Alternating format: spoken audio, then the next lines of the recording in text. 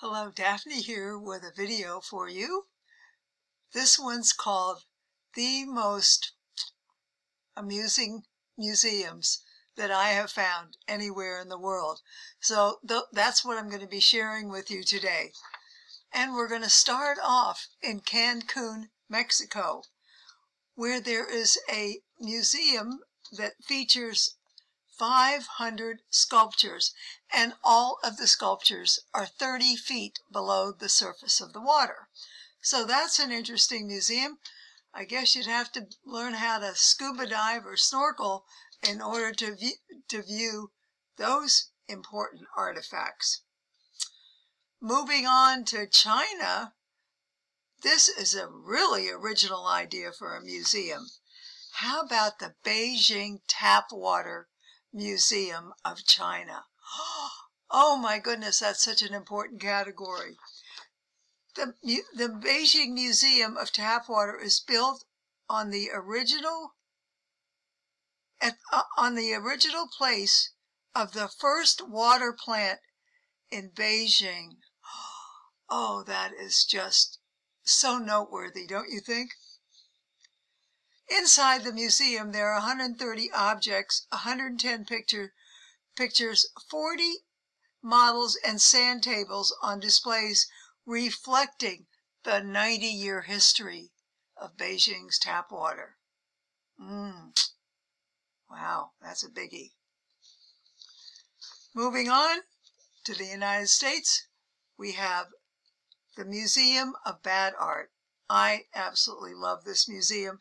It doesn't actually have a physical location, but they're looking for one. So if you have a suggestion, they're located in Boston, please give them a call. But anyway, I love the tagline for this museum, which is art so bad it's good.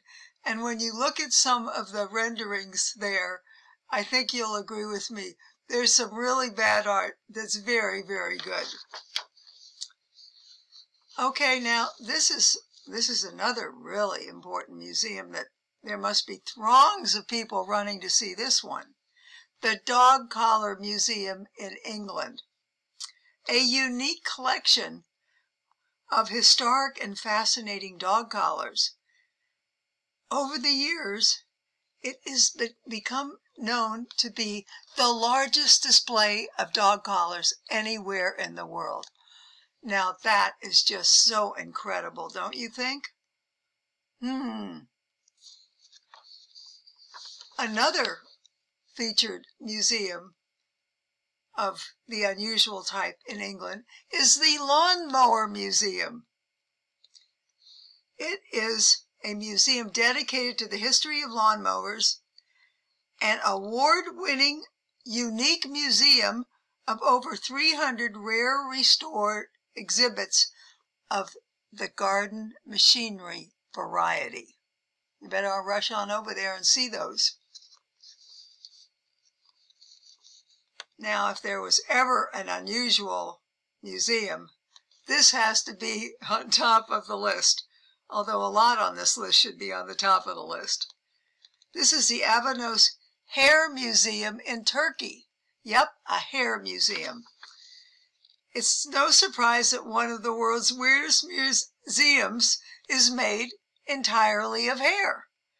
A cave-like room is filled with hair, or more specifically, locks of hair from more than 16,000 women. Yep, you heard that right.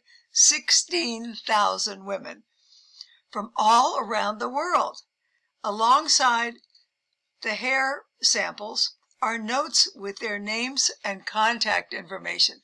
So if you're somebody who wants a person of the opposite sex based on strictly what their hair looks and feels like, then you better get yourself on over to Turkey to the Avanos Hair Museum without delay. Then we come to the Bread Museum in Germany. This museum houses 16,000 artifacts related to the history of bread. And believe it or not, there is not a single slice of fresh bread in the entire museum. 6,000 pieces of written work are there about bread are there for you if you'd like to read them. It also features an impressive collection of pieces including a work by Picasso. Hmm, that's interesting. And also the equipment and that was is used to make bread. The museum the museum contains the largest known collection revolving around bread's cultural history. That's got to be such a fascinating museum. Wow. Got to remember when I'm in England to go see that one. Now, the last one is by far the most, I don't know, it's, it's so amusing. It's just how there could possibly be a museum like this is beyond me. Well, there are two that are coming up, but this one is the first one. The Salaba International Museum of Toilets, of all things.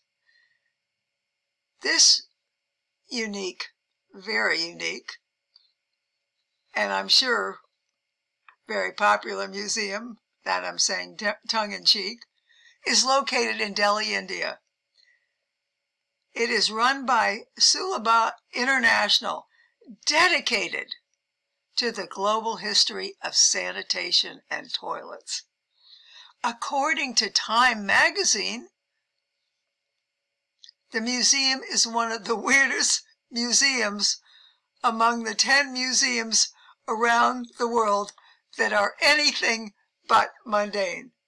So that is, it amuses me no end that somebody could even have thought of coming up with a toilet museum. But I sort of feel that way about a lot of the entries on this list. Now, this very last one, I don't know how in the world this one ever came to be, would be interesting, and I don't know the answer to that question. But this is a museum located in Reykjavik, Iceland. It's the Phallological Museum.